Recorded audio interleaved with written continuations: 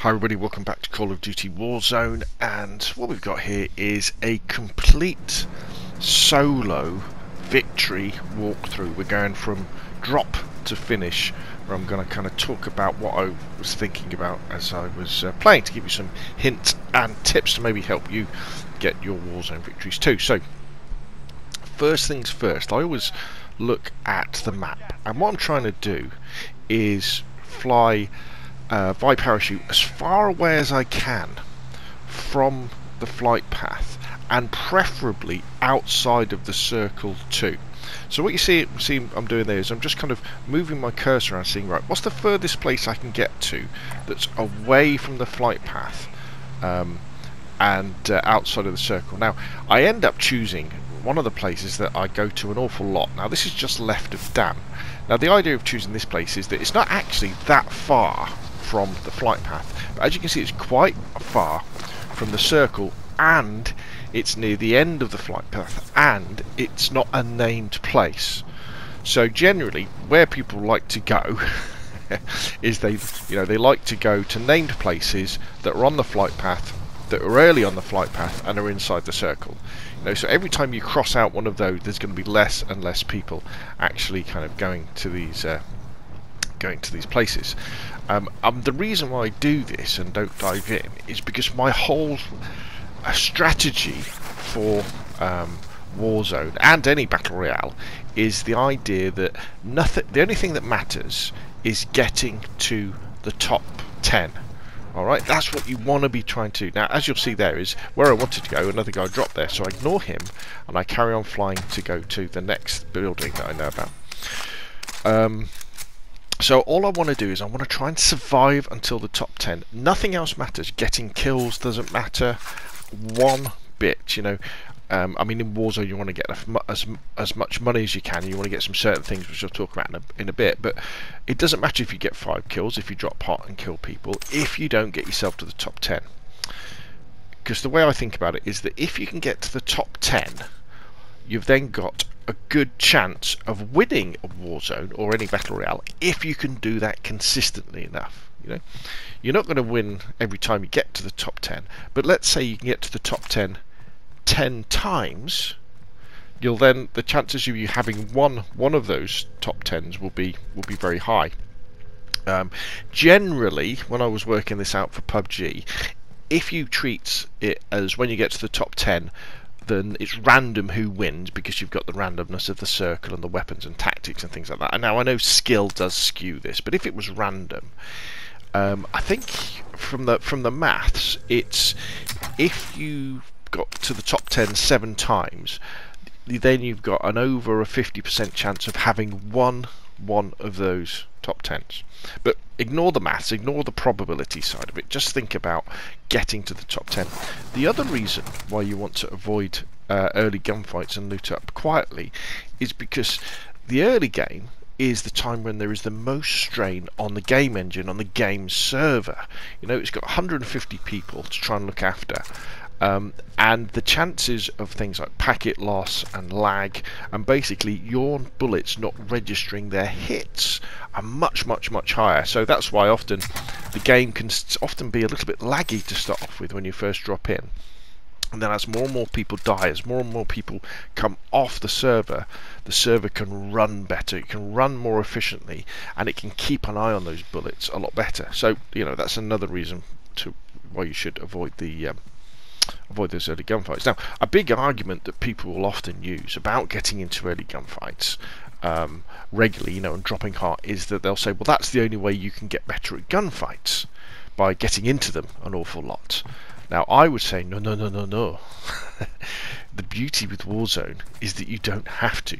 You can play Plunder, and that, you know, you're on the same map then, and you can run around with the same weapons and you can practice getting into trouble and getting into gunfights as much as you like. Also, you can just, if you've bought the full game, bought the full version of Call of Duty Modern Warfare 2019, you can play regular multiplayer, can play Domination, Free For All, Team Deathmatch, Hardpoint, all that sort of stuff, and get used to it. And you can even set up bot battles where you can set the health of the bots to 250 so you're kind of simulating players with with uh, full armor and you can run around practicing with exactly the weapon setup that you will uh, have um, when you come into uh, in come into Warzone. So that a necessity to practice gunfights by dropping in hot. Doesn't you know doesn't as far as I'm concerned count in Warzone. All all that counts especially well like in all the game modes whether it be solos trios quads or when we get duos is trying to get you to the top 10 or if you're playing a team version of it trying to get all of your team members to the top 10 um, now this style can often be um, a little bit boring because you're deliberately avoiding confrontation um, and so, you know, often there'll be this big long lull in the game. But another really cool thing about Warzone is that there's there's a few more things that you can do even if you're not getting involved in gunfights. You know, there's looting up, obviously. There's collecting money. There's doing contracts. So I, I don't think you should go after the, the actual contract ones where you have to kill people.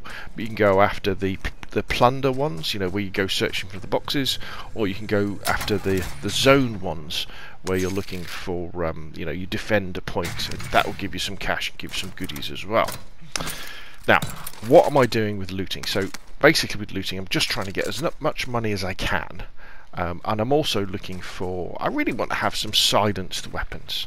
Um, in uh, Warzone, as in Call of Duty, we've got the mini-map in the top left-hand corner, and if you fire an unsilenced gun, um, you'll appear on, on that mini-map. Um, and what you'll find, and this especially applies to solo, is, is that as soon as you fire an unsilenced gun, people look at the minimap and they all turn around to look towards you. And quite a lot of people will start running towards you because what they're looking for is for two people to start shooting each other. And generally, what happens is one of them will win, one of them will die. But even the guy who's won will probably have lost some of his armor and will need to reload. So if they can get there quick enough, they can then take advantage of that to win. So the more you can stay off that um, mini-map, the better. Now, as far as getting money together and getting a custom loadout drop in, what I'm kind of thinking about is uh, my priorities are uh, to get to get money, obviously by running and, and, looting up and things like that. But my first priority is to get a self-revive kit. Although they're not that brilliant in solos because the chances of you getting sniped for a long way and then being able to recover aren't that high. But there, I have won uh, games due to having a self-revive, so I always want to get a self-revive first, um, and I want to get a gas mask. Now I know you can pick up gas masks from um, supply drops and, and, dead people, but I always think you should, if you've got a self-revive in your pocket and you've got a gas mask in your pocket, you've got two things that can win you a game. And most of the time I don't bother buying a supply drop box, you know, a custom loadout box, because so many of them drop into the map. Um, you don't you don't need to waste that. I think they're ten thousand dollars at the moment, and in solos, you know, it, it, can be quite difficult to get that amount of money, especially if you're playing a uh, strategy like this, where it's all about avoiding getting into fights, avoiding killing people early along, playing the quiet side of the circle, creeping in. Um, but anyway, so you'll see in a few minutes what happens is I do find a supply drop and I manage to get my loadout. Um, so let's take a step backwards and talk again about practicing. So one of the things I believe in, if you want to win uh, Warzone, um, you need to be able to practice with the gun that you're going to play with the most in the game. And so my favourite gun at the moment for Warzone is uh, Silenced MP7. And so I have a custom uh, loadout for that set up in the multiplayer and in, and in Warzone, which consists of the MP7. Um, it's, it's got like the monolithic suppressor on it. It's got the Commando foregrip. It's got the 60 round mag. It's got the GI um, reflex sight and the stipple rubber grip. Okay, so it's it snaps down sight pretty fast. It's got loads of bullets for spraying people down, um, and it keeps me off the radar. And my secondary is an RPG, and then uh, my perks are cold-blooded, so that people can't see me through thermal scopes. Um, and ghost, so I don't appear on the radar when people put UAVs up, and I don't appear on heartbeat sensors. And then amped is my final perk, um, which enables me to swap between my MP7 and my rocket launcher really quick.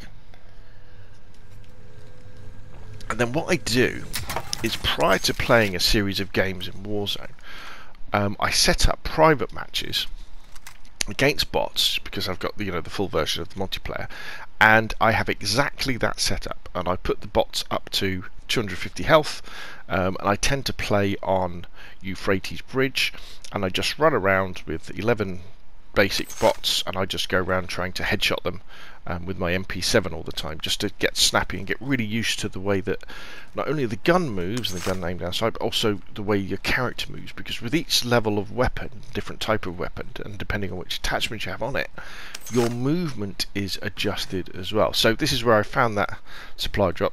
I've got to try and figure out how to how to get it because it's kind of up there. Remember, supply drops always attract people, as you'll see in a second. But I managed to get it. Um, pick up my MP7. Sometimes in a game, I'll change the rocket launcher to... So I blow up this guy's quad. He's to my left. I may have damaged him a little bit here as well.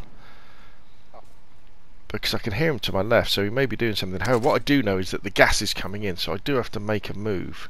So I make the decision that um, it's probably best to retreat. I go right, uh, and then I'm just sprinting away, just trying to put some cover between me. Now I see him, so I'm just going to tickle him a little bit with the MP7. And you can see the MP7, that's pretty long range for the MP7. But I break his armour. Um, he's he's not dead, but you know he's going to be slowing down. Uh, he, if he runs into anybody else and he haven't hasn't replaced his armour, he's going to be in a bit of trouble.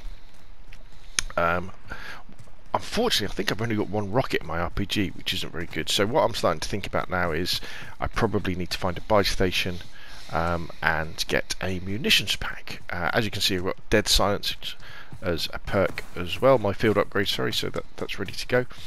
Um, I've got my heartbeat sensor, um, which is very, very important, I think.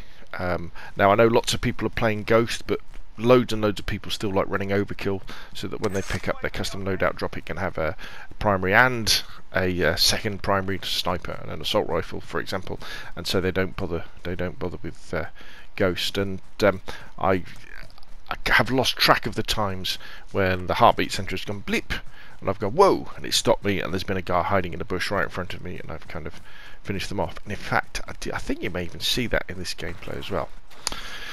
So let's talk about more about the, the circle tactics. We've talked about the guns, we've talked about practicing, we've talked about looting up in peace. So what am I doing now? Now this is a, is probably the simplest form of circle tactic you can do, which is all I'm doing is I'm just being chased in by the red, so by the gas. So I'm coming in as late as I can, with the idea that everybody else will have pushed in before me because generally not that many people hang around on the outside of the circle.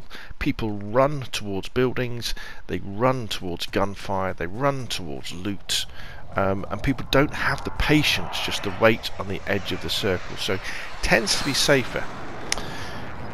One of my tactics quite often is to move to the quiet side of the circle. So if that was the case in this game, what I would have done is I would have got a vehicle and I've gone all the way over to farmland you know, or over to where the castle was. Um, and the quiet side of the circle would, you know, would be in the bottom right-hand corner. In this case, I've decided not to. I think, well, I've got plenty of cover. Let's just let's just try running in with the circle and kind of see how it goes. Now, that marker I put down there, that was just to show me where the centre of the circle goes. I find it very easy to become um, uh, a little bit. Uh, I, I, lose track of you know which direction I should be going in. So all I'm doing here is I'm just using that to think right. I should be going roughly in that direction, and um, if I can hear the, the the hum of boxes, I'm checking them out because more money the better. So I hear some gunfire to my left. So again, just checking how far I've got to go. Generally in Warzone, you can always outrun the gas. You can't run, outrun it in the first circle sometimes but in the later circles you can always outrun the gas. So I'm using my heartbeat sensor just to see where where that chap is. Again, I'm not making any rash moves. I'm trying to stay hidden. Now I'm just a little bit nervous here because I know he's up there somewhere. So at some point he's got to go. Now I make the decision because I've got quite a way to go to the gas. I did make the decision to get ahead. And what I'm trying to do is just zigzag, zigzag here, just to put cover between me and the person who may well be running behind me because it's all about getting that cover, get reducing that line of sight. Um, actually, we um, talk again about loadouts. What a really cool tip I got from Ross the other day is that with your custom loadouts, it, you're under a lot of pressure sometimes when you go to a buy station to and you buy the custom loadout and then you go to the drop and you've got to pick the right one from the drop. Little tip is for the first, make the top three loadouts in your um, custom loadouts the same so that no matter what happens you'll always end up picking the same one. So what happens here is I come over here and it's nice and quiet. I've checked it with my um, heartbeat sensor and then I realise that I haven't got many uh, rockets. So I think, well, I've got the money. Let's just quickly go back here. Let's get a munitions box.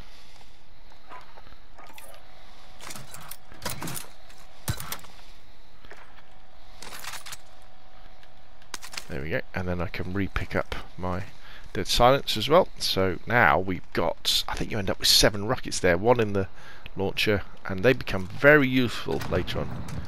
Or I've got six overall. There we go. One on the RPG, and then five in the backup. So now all, all, I'm doing is I'm just waiting just outside of the circle just to see if there's any latecomers who are trundling in. The tactic I'm using, this isn't you know rocket science. Lots of people use this tactic just to come in very late the circle, just to surf the, the gas in. Because again, the, the uh, idea behind this is that you don't have anybody behind you in the gas in Warzone, especially because the gas is so deadly. Um, if they're not wearing a gas mask, you can hear them coughing and they'll die pretty quick. If they have got a gas mask, gas masks don't last very long, and if you've got a gas mask on, you can only fire from the hip as well. So the gas is coming in, so I'm just waiting. And I remember, you know, seeing this, and you can probably hear me sighing because every time the circle comes in, it's not being super kind to me. You know, that circle has moved quite a long way away. Now, looking at that map though, imagine if I had gone to the bottom right corner of the map to where Castle was. I would have had a quite a good run in, a quite a quiet run in. However, the disadvantage would have been, and you'll know this if you've been down there, that area of the map is very open. You know, so you know it's Sniper City. Somebody can you know see you coming and one shot you with their HDR with a with a bullet to the head. I can hear suppressed gunfire. And remember, if someone's got a suppressed weapon, they won't be appearing on the mini-map, so you need to rely on your, your hearing. This is why wearing headphones is so important and having the headphones turned up. And uh, again, my heartbeat sensor, but even then, again with the heartbeat sensor, you have to remember that people who understand will be running Ghost. Um, now, I heard somebody just run past me then, so I've just doubled back just to see where they are. Again, what happens is one, when you have to start running, lots of people get very focused on running to the centre of the circle. You know, I've got to get to the circle, and they forget about the flanks. Also, you'll know that on console, our field of view is very small. It's probably, it might just be about 90 degrees, whereas if you watch PC players, you'll see them when they have their field of view on. You know, they, they can see basically from almost 180 degrees. So it's very important that when you are moving around, well, I think just think again about running through that building because I think oh, I'm going to get trapped by the gas. You know, just just be aware. Look to the flanks. Um, and really good players, what they're doing often is they won't be running straight in like I am in. I am. They'll be spiraling in from the slow-moving portion of the circle, which is where the new circle and the old circle are close together, um, they'll be spiraling in from the fast moving side where they're, they're furthest apart to the slow moving side. So, you know, you need to be aware of who might be behind you and who might be on, on your flanks. Now, what I'm doing here is I'm scanning around, I'm stopping. Is anybody come behind me? And I'm just looking for cover. Where can I go next? Again, just to stay on that edge of the circle. So, look, scanning, scanning. Right, where can I go? Where can I go? Right, there's this little building on the left. Let's give a little bit of cover. Best to get inside, quick check the heartbeat sensor, tuck in behind this door, and then just listen. A lot of Warzone when you're playing this sort of strategy is just running and stopping and waiting, listening. So again, the circle hasn't been super kind to me. I've got, I'm thinking, all oh, right, I've got to, got to get across the river. You know, there's the dry river, like the LA River. Um, I mean, I've got a gas mask, mask. I've got full armor. I've got my favourite MP7. I've got a rocket launcher. I've got two Molotovs and my heartbeat sensor. So, you know, I'm in a good position here. The only thing I'm really missing is... So we managed to blow up that guy's Jeep. As you can see, he's running right to left. So now what I'm doing is, I've, he knows where I am, right? He knows where I am. Plus anybody else knows where I am. So my only option here, I've got to flank. I've got to change my position severely. Because he's going to be looking back towards the rockets. Now the gas is coming in, so I've got to deal with this quick. So I'm thinking, right, he's got to be underneath the bridge. He must be underneath the bridge. So let's blat him with a rocket launcher. And there he is. He's just on the corner. So blat him that way, using the rocket launcher as my distance weapon. How I don't care. I think he must have shot it there. There we go, we finish him off. He had a self-revive, that's why he didn't go down straight away. Quickly run over his stuff so I can pick it up. Pause for a second or two to add my armour, reload my RPG. You could argue that taking out that car wasn't the cleverest thing to do, but you know it is an awful, it's awful fun, isn't it? So again, I'm just waiting. You know, I know I can outrun the gas. I know there's not much cover. So here I'm thinking, where's the cover? Where's the cover? Where's the cover? Now I see that guy running in front of me. He's gone up into those bushes. Again, just going slowly. I don't want to make too much noise. There he is so I can't quite see him, but I know he's in the bush, so for a bit of fun. Let's take his place in the bush. Let's take all his stuff. Let's re-armour up, see what he's got. Now this is where the circle has been kind to me. You know, it's probably sort of 20, 30 metres away, but it's along the line of these bushes, so I've got very, very good cover. Now, to the left of me is the, is the far side of the circle. So the far side is where you've got the biggest distance between the old circle and the new circle. So this is where the gas will be moving the fastest. So people who are often on the, the fast side of the circle will be rotating towards where I am. So I just want to be checking out now. The gas is going to start coming in. So again, I'm just looking around. Check that's the that's the dangerous side, right? Because that's where I could be rotating in. So I'm just watching that. I'm looking around. Again, it's all part of this thing of not just look right. So there's a guy in front of me. So we've broken his armor. He's gone behind the rock. Try and get a bit of splash damage. Molotov him to get him to move. He has to move again. He's got he chose a nice bit of cover here, so again I'll drop down. Always be replacing your armour. Always be replacing your armour. So now I'm good to go again. Reload the RPG. Now, luckily, this guy happens to have a UAV, which I can see. I just have a little bit of trouble trying to pick up the right thing. Well, I've got a fresh gas mask, so I think, right, how can I pick up this bloody UAV? Go on, give it to me. It keeps going to the wrong thing.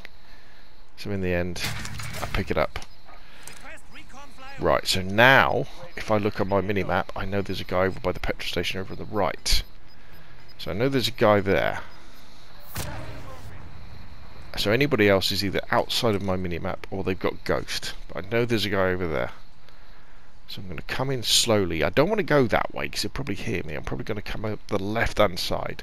But now I'm thinking, right, using the use the heartbeat sensor, coming fairly slowly. And now it's all going to happen really fast now. So I'm just being very careful, just in case he decides to rotate around the back. Again, just, just crouch walking, making as little noise as possible. It's all about sound at this point. Right, so there's a gunfight in front of me, so we're down to the last three. At this point, what I should have done is pop my dead silence, but I completely forget that I've got it. So, final circle, gas is going to disappear. So I have to make a move. Now I'm thinking to go left, to the left of the green tarpaulins, to loop round. Now I just heard someone go through to my right, so there he is. So now there's it's so, we so it's so it's uh, two left, one v one. So I can hear him firing to my right. I'm not sure if he's firing at me, so I go into the gas, jump over here, and then hip fire this guy who's on the ground, and we finish him off for the victory. Funnily enough, this is exactly the same place that I got a squad victory with um, Andy and Keith the other day as well. Yes, strange that. So there we go, a solo Warzone victory. Hopefully that gives you a little bit of an idea of how slowly things happen when I'm doing that sort of strategy of jumping long, looting in peace, slowly coming in with the circle, staying on the edge of the circle, listening, listening out, and then uh, taking the advantage of basically creeping up behind people and getting the advantage on them. Anyway, if you've got any questions or comments, put them down below. If you enjoyed the video, hit like. If you want to see any more of the same, press subscribe, and I will see you again soon.